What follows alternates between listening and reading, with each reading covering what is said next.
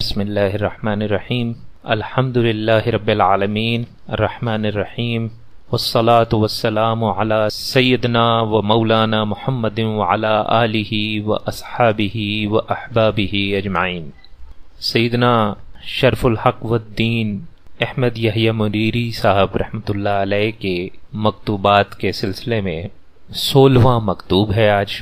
یہ مکتوب ہے سالک اور مجذوب کے بیان میں۔ آپ فرماتے ہیں، بسم اللہ الرحمن الرحیم۔ یہ مکتوب بھی آپ نے سیدنا شمس الدین علیہ رحمت کے نام لکھا ہے۔ تو آپ فرماتے ہیں، بسم اللہ الرحمن الرحیم۔ اے میرے بھائی شمس الدین، اللہ تم کو سالکوں کی بزرگی عطا فرمائے۔ تمہیں معلوم ہو کہ اس راہ طریقت میں چلنے والوں کی دو قسمیں ہیں۔ ایک سالک، دوسرا مجذوب۔ آپ کہتے ہیں کہ مجذوب وہ لوگ ہیں کہ کمند جذبہ نے انہیں مرتبہ ولایت تک پہنچا دیا ہے۔ مگر غلبہ شوق میں وہ اس طرح محو ہوتے ہیں کہ باوجود اس کے کہ وہ ہر مقام سے گزر چکے ہیں۔ ان کو اس کی خبر نہیں کہ راہ کا کیا حال ہے، مقام کی کیفیت کیسی ہے، خیر کس شے کا نام ہے، شر کس بلا کو کہتے ہیں۔ نفع کی صورت کیا ہے اور ضرر کس بات میں ہے؟ ان کو یہ اس کا بالکل اندازہ نہیں۔ آپ کہتے ہیں کہ اسی لیے مجزوبان جو ہیں وہ پیر بنانے کے لائق نہیں ہوتے۔ شیخی کے لائق وہ ہستی ہوتی ہے کہ اگر جذبہ شوق کے ساتھ راہ طے کرتی ہے، تو نہایت سکون اور آہستگی کے ساتھ طے کرتی ہے۔ یعنی ہر ہر مقام پر داد و انصاف دیتے جاتے ہیں۔ اور آگے بڑھتے جاتے ہیں۔ احوال خیر و شر اور صلاح و فساد ان پر کھول دیے جاتے ہیں۔ کبھی کبھی راہ پر چلتے چلتے وہ بے راہ بھی ہو جاتے ہیں۔ یہ بڑا اہم نقطہ ہے کہ وہ بے راہ ہو جاتے ہیں۔ پہلے مجھے یاد پڑتا ہے ایک مکتوب میں ہم نے یہ بات کی ہے، غالباً پچھلے ہی میں شاید بات ہوئی تھی، کہ انبیاء کرام علیہم السلام، ہمارا ایمان ہے کہ وہ کبھی غلطی نہیں کر سکتے۔ جو چیزیں ہمیں بظاہر ان کی حیات ظاہری میں غلطی نظر آتی ہے، وہ اصل میں غلطی نہیں ہوتی۔ اس کے پیچھے کوئی اللہ کی مسلحت ہوتی ہے، کوئی تربیت کا نقطہ نظر ہوتا ہے، کوئی سبق ہوتا ہے، وہ غلطی نہیں ہوتی۔ تو ذہن میں رکھیں کہ انبیاء علیہم السلام کے جو علوم ہیں، خاص طور پہ علوم باطنی جو ہیں، ان کے جو وارث ہیں، ان سے بھی غلطی نہیں ہوتی۔ یہ ہمارا ایمان۔ جو تھوڑا بہت کبھی آپ کو کچھ نظر آئے گا، تو اس کے پیچھے بھی یہی نقطہ ہوگا کہ کوئی نہ کوئی تربیتی پہلو ہے بیچ میں۔ آپ بھی یہی فرماتے ہیں کہ کبھی کبھی راہ پر چلتے چلتے وہ بے راہ ہو جاتے ہیں۔ اور وہ کیوں بے راہ ہو جاتے ہیں؟ تاکہ راہ اور بے راہی سے پوری واقفیت انہیں حاصل ہو جائے۔ کیونکہ کل ان کو دوسرے لوگوں کی تربیت کرنی ہے، تو کہیں کہیں ہلکا پھلکا اگر بے راہ ہوئے ہیں وہ، تو ان کو پتا ہے کہ یہاں پہ کیا صحیح ہے، کیا غلط ہے۔ اگر کچھ غلط ہو جائے تو کہاں تک اس کے نقصانات ہیں؟ اور اگر بالکل صحیح چلتا رہے تو کیا کیا فوائد ہیں؟ ان سب چیزوں سے واقفیت حاصل کرنے کے لیے اللہ تبارک و تعالی ایسے اسباب پیدا کرتے ہیں کہ کبھی کبھی یہ لوگ تھوڑے سے بے راہ بھی ہو جاتے ہیں۔ وہ مجھے یاد پڑتا ایک شعر میں نے کسی درس میں پڑھا تھا کہ میرے نقادوں سے کہہ دو کہ میرا بھٹکنا کھیل نہیں، ادھر ادھر گھوم آتا ہوں، سمت کو سیدھا رکھتا ہوں۔ ٹھیک ہے جی رخ بالکل ٹھیک رہتا ہے۔ تو ہلکا پھلکا دائیں بائیں کبھی کبھی ہو جاتے ہیں۔ اور اس کے پیچھے بھی جو اصل مقصد ہے وہ کیا ہے کہ کل کو جب وہ تربیت کریں گے اپنے مریدوں کی، اپنے عقیدت پندوں کی، تو اگر وہ کبھی راہ سے تھوڑا بہت بے راہ ہونے لگیں گے ان کو اس کا پہلے سے اندازہ ہو سکے گا اور وہ اس کے مطابق پھر وہ ان کی تربیت میں جو بھی قدم اٹھانا ہے وہ قدم اٹھا سکیں گے۔ اس لیے بے راہ ہو سکتے ہیں، ایسی کوئی بات نہیں۔ پھر اس کے علاوہ ہم شروع میں یہ بھی بات کر چکے ہیں کہ اولیاء کرام جو ہیں وہ محفوظ ہوتے ہیں۔ ہم نے کہا تھا انبیاء کرام علیہ السلام جو ہیں وہ معصوم ہوتے ہیں اور اولیاء کرام جو ہیں وہ محفوظ ہوتے ہیں۔ اور اس پر ہم نے بڑی تفصیلی دو تین مکتوبات میں ہم نے گفتگو کی تھی کہ محفوظ ہونے کا مطلب کیا ہے۔ تو ان سے غلطی ہو جاتی ہے۔ لیکن وہ اس غلطی پہ اصرار نہیں کرتے ہیں۔ اس غلطی پہ نادم ہوتے ہیں۔ اس غلطی سے سیکھتے ہیں۔ تاکہ آئندہ ان سے بھی غلطی نہ ہو اور ان کے عقیدت مند بھی کبھی غلطی کرنے لگے تو ان کو وہ وہاں پہ ان کا ہاتھ تھام سکے اس لیے وہ محفوظ ہوتے ہیں۔ تو آپ فرماتے ہیں کہ کبھی کبھی راہ پر چلتے چلتے بے راہ بھی ہو جاتے ہیں تاکہ راہ اور بے راہی سے پوری واقفیت انہیں حاصل ہو جائے۔ اتنے مرحلوں کے بعد ان میں یہ صلاحیت پیدا ہوتی ہے کہ وہ کسی ایک جماعت کی رہبری جو ہے وہ کر سکے اچھا اب نقطہ یہ ہے، سوال یہ پیدا ہوتا ہے کہ سالک کو پتہ کیسے چلے؟ وہ کیسے یہ سمجھے کہ ہم راستے پہ چل رہے ہیں اور منزل طے ہو رہی ہے؟ تو آپ کہتے ہیں کہ بزرگوں نے اس کی نشانیاں بتائی ہیں۔ عالم ہزاروں ہیں۔ ہم پہلے بھی بات کر چکے ہیں، کسی نے کہا اٹھارہ ہزار عالم ہے کسی نے کہا اسی ہزار عالم ہے اور ہم نے یہ بھی بات کی ہے کہ یہ تمام عالم چاہے اٹھارہ ہزار ہیں، چاہے اسی ہزار ہیں، یا اسے زیادہ بھی اگر ہیں، تو یہ اصل میں دو عالموں ہی میں ہے تو جناب، آپ کہتے ہیں کہ عالم جو ہیں وہ ہزاروں ہیں اور ہر عالم سے سالک کو گزرنا پڑتا ہے اور اس کی سیر کرنا پڑتا ہے۔ اسی لیے ہم نے لفظ سیر کا استعمال کیا ہے۔ جب ہم کہہ رہے تھے سیر اللہ، سیر معلّہ سیر فلّہ سیر من اللہ یہ جب ہم نے چار اقسام کی بات کی تھی، تو سیر کرنی پڑتی ہے ان تمام عالموں کی۔ تو یہ جتنے بھی عالم ہیں، ان میں سے جو ایک عالم ہے، وہ عالم خاک ہے۔ جب مختلف سلاسل میں اور مختلف بزرگوں نے اس بحث کو مختلف انداز میں پیش کیا ہے۔ جیسے اگر آپ کو یاد ہو تو پچھلے دنوں ہم نے جو، ہمارا جو میگزین ہے ریاض کے نام سے، اس کے اندر روحانی سفر کے نام سے ایک چھوٹا سا مضمون چھپا تھا۔ سلسلہ نقش بند کے ایک بزرگ ہیں، انہوں نے وہ مضمون لکھا ہے۔ اب اس کے اندر سفر ذرا اور انداز میں، اس پہ بحث کی ہے آپ نے۔ اس سے پہلے اگر آپ کو یاد ہو تو سلسلہ نقش بند کے حوالے سے نقش بندیا مجددیہ کے حوالے سے لطائف پر کچھ ای میلز گروپ پہ جو ہے وہ میں کرتا رہا ہوں۔ اس میں ذرا کسی اور انداز سے بات ہوئی ہے۔ اسی طرح سلسلہ چشتیہ صابریہ اور سلسلہ شازلیہ کے حوالے سے ایک مضمون میں نے لکھا تھا، مقامات روح کے حوالے سے۔ لکھا تو نہیں تعلیف کہیں۔ مولف تعلیف کی تھی، کیا تھا میں نے مضمون۔ وہ بھی ای میلز پہ آتا رہا ہے۔ اب تو خیر، پی ڈی ایف میں باقاعدہ پورا وہ مضمون موجود ہے۔ اس میں ذرا کسی اور انداز میں روحانی سفر کی بات ہوئی تھی۔ تو مختلف مشائق مختلف انداز میں کام کرتے ہیں۔ اور کئی بار ایک ہی قسم کے عالم ہوتے ہیں، صرف مختلف مشائق یا مختلف ناموں سے پہچانے جاتے ہیں۔ ایسا بھی کئی بار ہوتا ہے۔ تو آپ کہتے ہیں کہ ایک عالم جو ہے وہ عالم خاک ہے۔ اس مقام کی سیر میں کیا واقعہ پیش آتا ہے؟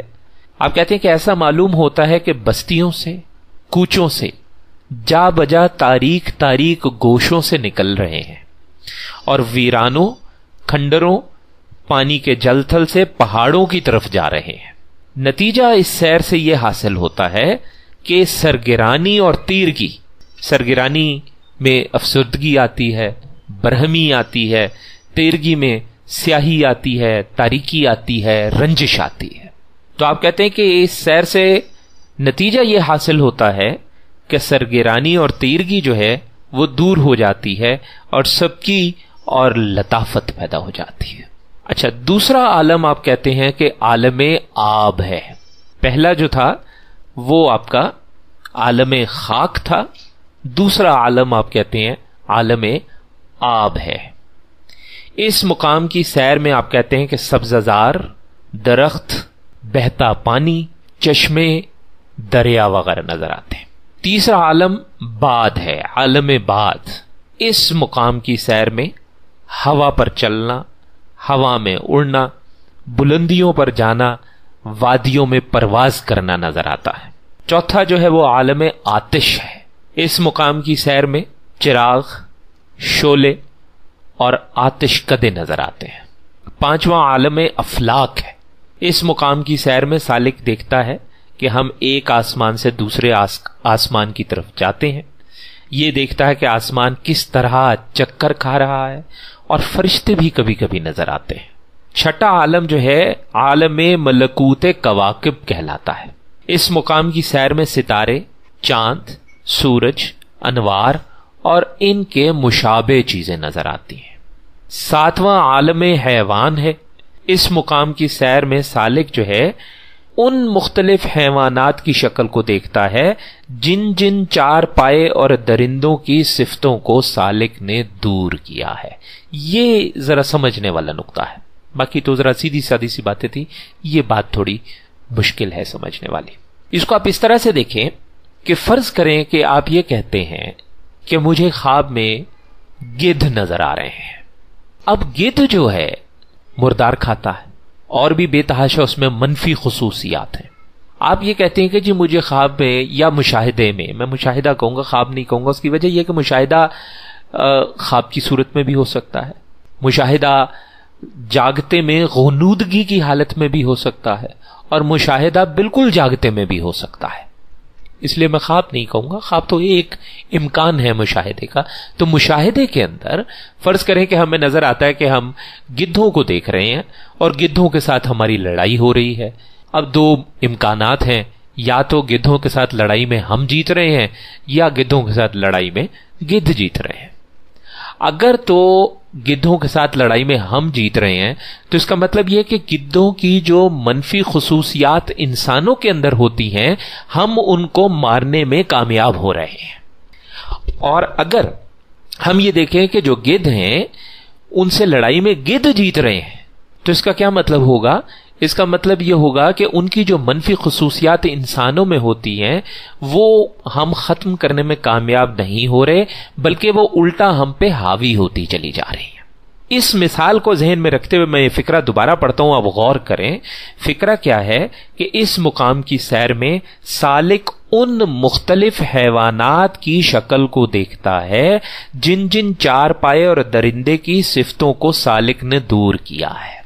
اب امید ہے بات سمجھ آ گئی ہوگی کہ کیا بلکہ یہ آگے کہتے ہیں کہ اس مقام میں قابل خیال یہ بات ہے کہ اگر سالک ان سبا و بہام سبا درندے بہام چوپائے، تو ان درندوں اور ان چوپایوں پر اپنے آپ کو غالب دیکھے، تو یہ سمجھے کہ واقعی خدا تعالی نے ہمیں ان صفات سے نجات دے دی ہے۔ یہی بات جو بھی میں نے آپ سے عرض کی۔ اور اگر اپنے کو ان کا مغلوب دیکھے، تو یہ سمجھے کہ ابھی وہ صفات زمیمہ، جو منفی اور بری صفات ہیں، وہ ہم میں باقی ہیں۔ اس طرح جتنے بھی عالم ہیں، تمام کی سالک سیر کرتا ہے، ان سے گزرتا ہے۔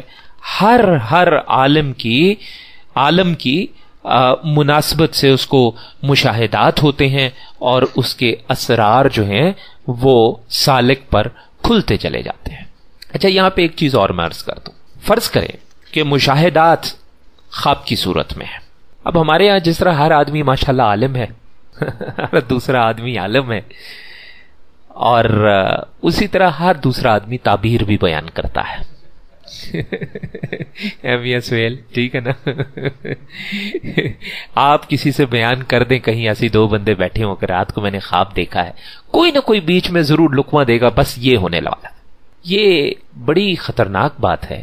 علم تصوف میں آداب کے اندر یہ چیز شامل ہے کہ آپ اپنے کسی مشاہدے کو کسی کے ساتھ کسی کے سامنے بیان نہیں کریں گے سوائے اپنے مرشد کے۔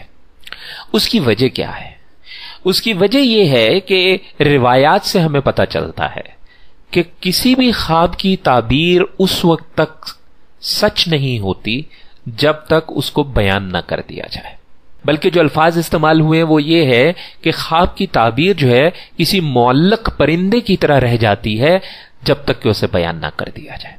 اب فرض کریں کہ ایک خواب ہے جس کی تعبیر بہت اچھی ہے۔ آپ نے کسی سے بیان کر دیا، اس نے فوراً اس کی بری تعبیر نکال دی۔ تو زیادہ امکان یہ ہے کہ اس کی بری تعبیر پورے ہونے کا آپ کو انتظار کرنا پڑے گا۔ اس لیے یہ خواب، یہ مشاہدات، یہ امانت ہے ایک طرح کی۔ نہ تو خود اس کا کوئی مطلب نکالنا چاہیے۔ جیسے میں ایک عرض کروں، جیسے یہ بھی ہم نے درندوں کی بات کی ہے۔ پچھلے دنوں ایک ایک نیا گروپ یاہو پہ پچھلے دنوں بنا ہے۔ مجھے بھی اس کا دعوت نامہ کسی طرح پہنچ گیا کہ جناب آپ اس کو جوائن کریں۔ میں نے بھی کر لیا۔ شروع شروع میں بڑی زبردست باتیں ہو رہی تھی۔ گروپ کا جو مقصد تھا وہ یہ تھا کہ مختلف اثرات جن میں آسبی اثرات بھی ہیں، حسد کے اثرات بھی ہیں، جادو کے اثرات بھی ہیں، اس قسم کے جتنے بھی اثرات ہیں، ان سے بچاؤ کے لیے کون کون سے طریقے اختیار کیے جاتے ہیں؟ اور اگر کسی پہ اثرات آ گئے ہیں تو اس کو وہاں سے اب بچایا کیسے جاتا؟ اچھا اب اس کے اندر بڑا سیدھا سادہ انہوں نے ایک جگہ پہ لکھا کہ بھئی اگر آپ کو خواب میں درندے نظر آتے ہیں تو اس کا مطلب ہے آپ پہ جادو کا اثر ہے۔ جبکہ ہم ابھی بات کچھ اور کر رہے ہیں۔ ہم یہ کہہ رہے ہیں کہ اگر درندے نظر آتے ہیں اور ان کے ساتھ لڑائی ہو رہی ہے، تو یا تو ہم ان کی منفی صفات سے اپنے آپ کو چھٹکارا حاصل کرتے دیکھ رہے ہیں، یا ان منفی صفات کو اپنے اوپر حاوی کرتا دیکھ رہے ہیں۔ یہ سالک کے لیے۔ ہاں ہاں۔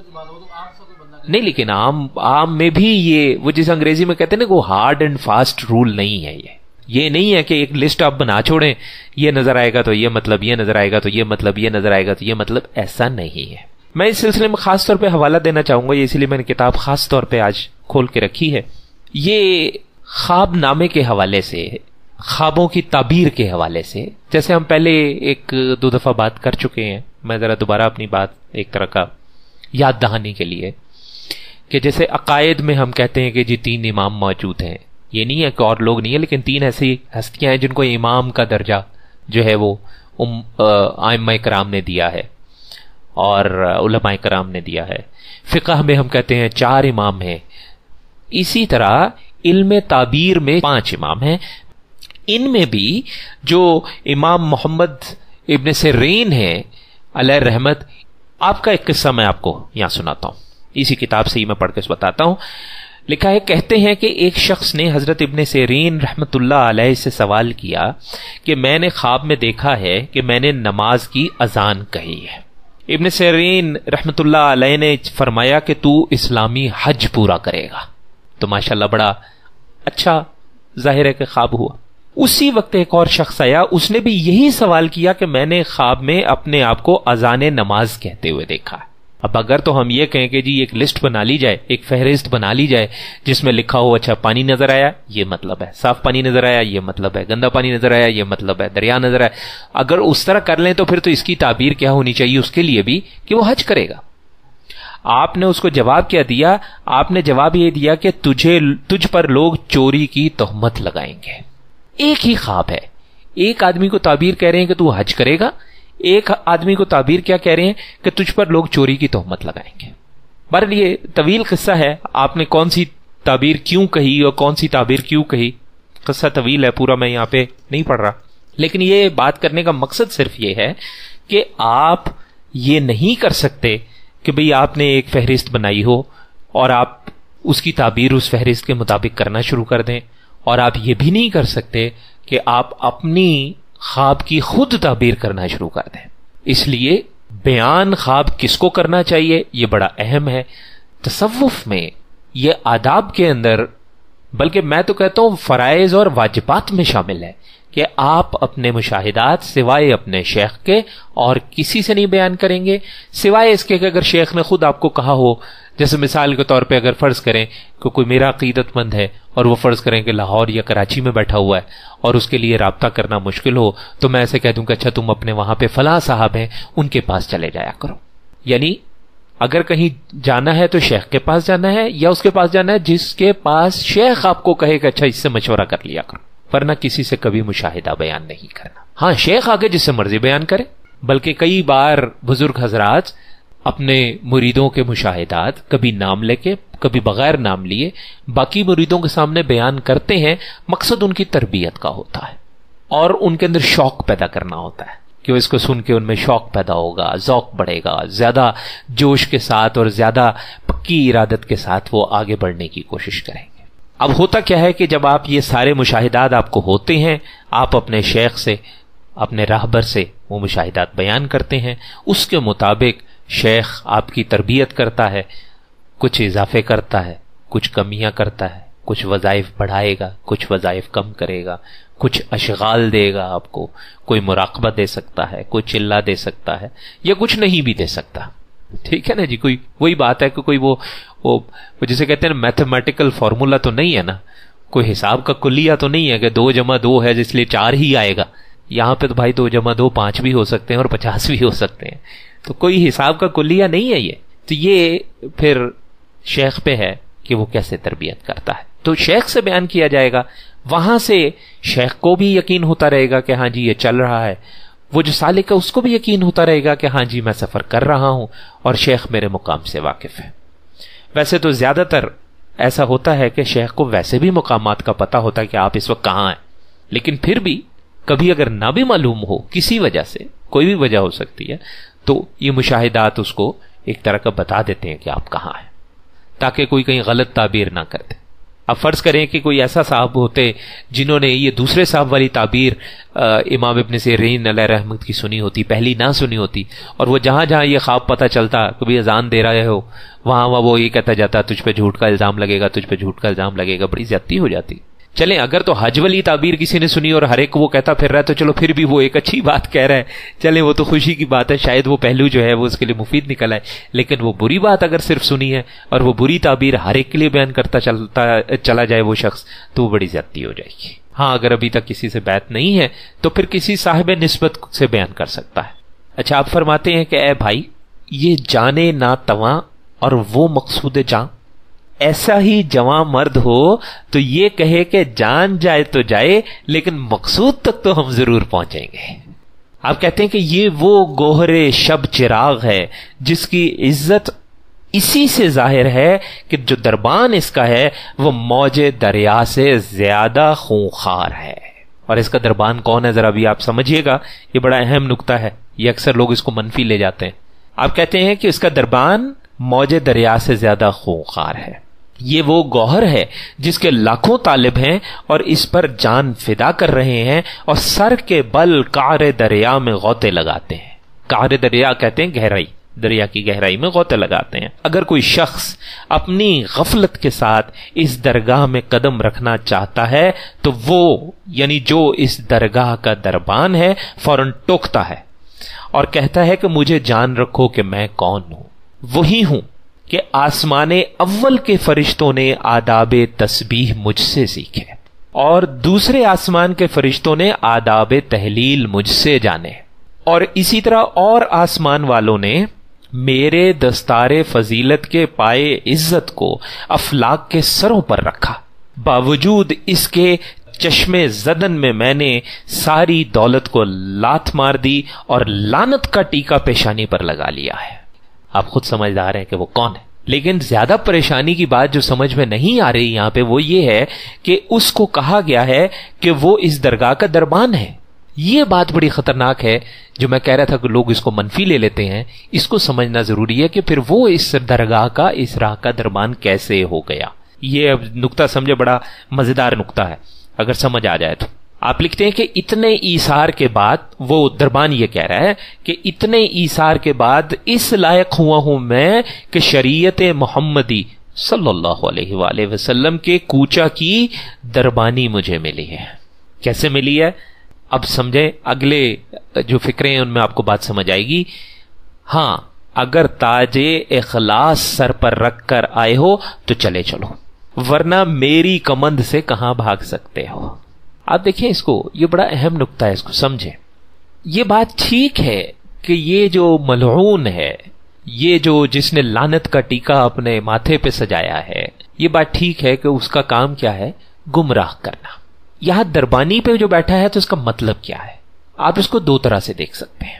ایک تو یہ دیکھ سکتے ہیں کہ اس کا کام ہے گمراہ کرنا۔ اچھا اس کے گمراہ کرنے سے ایک اور چیز سامنے آتی ہے۔ کیونکہ جب اس نے اللہ تبارک و تعالیٰ سے مہلت مانگی تھی اور کہا تھا کہ میں تیری مخلوق کو گمراہ کروں گا، تو اللہ تبارک و تعالیٰ نے کیا کہا تھا؟ کہ تجھے روز قیامت تک چھوٹ ہے، لیکن جو میرے نیک بندے ہوں گے وہ تیرے قابو میں نہیں آئیں گے۔ تو ایک طرح سے اس کے گمراہ کرنے سے چھانٹی ہو رہی ہے۔ دربانی کا یہ مطلب ہے کہ اگر سچی نیت کے ساتھ آ رہے ہو، تو میں تمہیں جانے دوں گا، ٹھیک ہے، جاؤ۔ اور ذرا سا بھی اگر اخلاص میں کمی ہے تو پھر تم مجھ سے نہیں بچ سکتے۔ پھر تم میرے ہو۔ اب آپ سمجھے دربانی کا کیا مطلب ہے؟ کیونکہ یہ نقطہ بڑا خطرناک ہے۔ اس کو ذرا سا کسی اور طرح سے دیکھ لیا، سمجھ لیا تو خدا نہ خاصا خود گمراہی میں پڑنے کا امکان ہے۔ یہ وہی بات ہے کہ بزرگوں کی بات کی تفسیر بڑی ضروری ہے، ورنہ بڑے بڑے لوگ گمراہی میں پڑ جاتے ہیں۔ آپ کہتے ہیں، دیکھو بھائی، یہ حال ہے۔ تاہم یہ نہ سمجھو کہ وہ یعنی جس کی یہ شان ہے، اللہ تبارک و تعالیٰ کی اب بات ہو رہی ہے۔ آپ کہتے ہیں کہ تاہم یہ نہ سمجھو کہ وہ یعنی جس کی یہ شان ہے، ہر پست ہمت کے لیے ہلتا بھی ہو۔ ایسا ہرگز نہیں ہے، وہ بڑا متکبر ہے۔ ہم سب کا ایمان ہے، تکبر صرف کس کے لیے ہے؟ اللہ تبارک و تعالیٰ کے لیے ہے۔ آپ کہتے ہیں کہ وہ بڑا متکبر ہے، وہ کسی پست ہمت کے لیے نہیں ہلتا۔ جب تک کوئی صدیق دنیا میں پیدا نہیں ہوتا اور کوئی چالاک اور پاک باز جو ہے وہ اس راہ میں قدم نہیں رکھتا، وہ کب اپنی جگہ سے اٹھنے والا ہے؟ اللہ تعالی ہمیں بھی سالک بننے کی توفیق عطا فرمائے، مجذوب نہیں، اور کسی سچے شیخ کا ساتھ جو ہے وہ نصیب فرمائے۔ وہ صلی اللہ علیہ خیر خلق ہی سیدنا و مولانا محمد وعلی آلہ و اصحابہ اجمعین، برحمتک یا رحم الراحمین۔